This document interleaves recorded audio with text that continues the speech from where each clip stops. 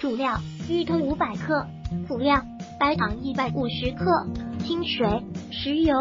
制作时间：三十分钟到一小时。用餐人数：一到两人。芋头切块，下锅炸至黄金，锅内留少许油，加入白糖和少许水，把糖浆滚至冒泡，再加入预先爆香的香葱粒，放入炸制好的芋块，翻炒均匀，离火炒至糖白即可。烹饪技巧：做饭烧菜是糖浆的程度一定要熬够，过程中要不时翻搅，这样才可以起沙。如果喜欢本视频，请订阅本频道。